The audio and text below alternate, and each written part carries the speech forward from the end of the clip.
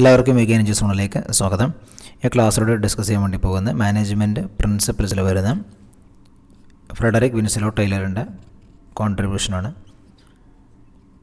അതാണ് എന്താ scientific management എന്നുള്ളത്. ഓക്കെ സയന്റിഫിക് മാനേജ്മെന്റ് ഇപ്പം എന്തൊക്കെയാണ് നിങ്ങൾക്ക് വളരെ ബേസിക് ആയിട്ടുള്ള കാര്യങ്ങൾ അല്ലെങ്കിൽ പരീക്ഷയ്ക്ക് നമുക്ക് കുറച്ച് മാർക്ക് സ്കോർ ചെയ്യാൻ വേണ്ടിയിട്ടുള്ള രീതിയിലാണ് ക്ലാസ്സുകൾ ഓരോ ക്ലാസ്സുകളും തയ്യാറാക്കിയിട്ടുള്ളത്. അല്ലാതെ കണ്ട് ഓരോ പോയിന്റും വളരെ ഡീറ്റെയിൽ ആയിട്ട് ഡിസ്കസ് ചെയ്യുന്നില്ല. വളരെ സിമ്പിളായിട്ട് ഓരോ പോയിന്റും പറഞ്ഞു പോവുകയാണ് ചെയ്യുന്നത്. ഓക്കെ. ഡൗട്ട്സ് ഉണ്ടെങ്കിൽ നിങ്ങളുടെ താഴെ ചോദിക്കാം. കമന്റായിട്ട് ചോദിക്കാം. വളരെ സിമ്പിളായിട്ടുള്ള ഭാഗമാണിത് okay. Scientific management scientific management introduce ചെയ്തിട്ടുള്ളത് സയന്റിഫിക് മാനേജ്മെന്റ് എന്നുള്ള ആശയം ആരുടെയാണ് അല്ലെങ്കിൽ ഫാദർ ഓഫ് സയന്റിഫിക് മാനേജ്മെന്റ് എന്നറിയപ്പെടുന്നത്. ടൈലറാണ് നമുക്കറിയാം അല്ലേ? എഫ് ഡബ്ല്യു ടൈലർ തന്നെയാണ് സയന്റിഫിക് മാനേജ്മെന്റ് എന്നുള്ളത്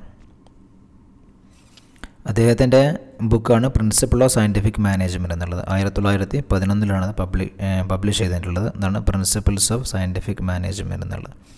അതിലാണിത് ഒരു ആശയം അദ്ദേഹം ആദ്യം കൊണ്ടുവരുന്നത്. പ്രിൻസിപ്പിൾ ഓഫ് സയന്റിഫിക് മാനേജ്മെന്റ് എന്നുള്ള ബുക്കിന്റെ പേരെന്ന് ഓർത്ത് വെക്കുക ഇയർ എന്ന് ഓർത്ത് വെക്കുക ഓക്കെ അപ്പം ഇതിൽ അത് പറയുന്നത് അല്ലെങ്കിൽ application of science into management practice നമുക്ക് പറയാം. അല്ലെങ്കിൽ knowing exactly what you what men to do and seeing that they do it in a best and cheapest way ഇതാണ് ഇതിന്റെ ഒരു കോർ എലമെന്റ് എന്ന് പറഞ്ഞാൽ ഓക്കെ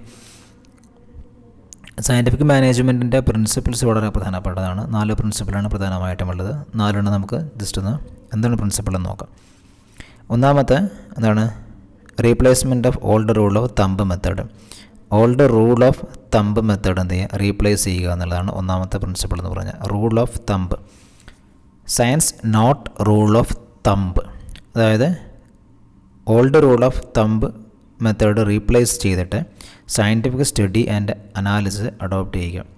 അല്ലെ ഓർഗനൈസേഷനകത്തുള്ള എല്ലാ എലമെൻസിനകത്തും സയന്റിഫിക് അനാലിസിസ് നിങ്ങൾ അഡോപ്റ്റ് ചെയ്യുക എന്നുള്ളത്. ഓക്കെ ടി എന്നുള്ളൊരു ഓർത്ത് വെക്കുക. എന്താണ്? റൂൾ ഓഫ് തമ്പ് എന്ത് ചെയ്യുക റീപ്ലേസ് ചെയ്തു ഇനി നെക്സ്റ്റ് ഹാർമണിയാണ് നെക്സ്റ്റ് എന്താണ്? ഹാർമണിയാണ് not discord D I S C O R T harmony not discord അപ്പോൾ ഇവിടെ എന്താണ്? വർക്കേഴ്സും മാനേജ്മെന്റും തമ്മിലുള്ള നല്ലൊരു എന്താണ്? റിലേഷൻഷിപ്പ് ഉണ്ടായിരിക്കണം. ഹാർമണി ഉണ്ടായിരിക്കണം.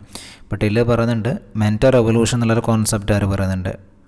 ടൈലർ പറയുന്നുണ്ട്. അപ്പോൾ ആ കോൺസെപ്റ്റൊക്കെ നമുക്ക് ഇതിന്റെ ഒപ്പം നമുക്ക് ചേർത്ത് വായിക്കാൻ പറ്റുന്നതാണ്. ഓക്കെ ഹാർമണി നോട്ട് ഡിസ്കോഡ് എന്നുള്ളത് അതായത് ഇവിടെ എന്താണ്? മാനേജേഴ്സും വർക്കേഴ്സും എന്താണ്? അവർ ഒരു കോമൺ ഗോളിന് വേണ്ടിയിട്ട് ഓർഗനൈസേഷന്റെ പ്രോഫിറ്റ് ഏൺ ചെയ്യുന്നതിന് വേണ്ടിയിട്ട് എന്താണ് വളരെ ഹാർമോണിയസ് ആയിട്ടുള്ളൊരു റിലേഷൻഷിപ്പാണ് ഉണ്ടായിരിക്കേണ്ടതാണ് ഇവിടെ പറയുന്നത്. ഹാർമോണി നോട്ട് ഡിസ്കോഡ് എന്നുള്ളത്.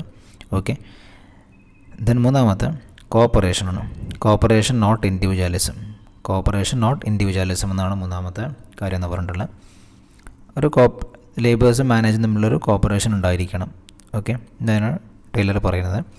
പിന്നീട് ഡെവലപ്മെന്റ് എല്ലാ തരത്തിലുള്ള development development of each and every person എന്തിനു വേണ്ടിയിട്ടാണ് മാക്സിമം എഫിഷ്യൻസിയും പ്രോസ്പെരിറ്റിക്കും വേണ്ടിയുള്ള. ഓക്കെ അപ്പോൾ നാല് പോയിന്റ് ഒന്ന് ഓർത്ത് വെക്കുക. ഒന്നാമത് പറഞ്ഞിട്ട് എന്താണ്?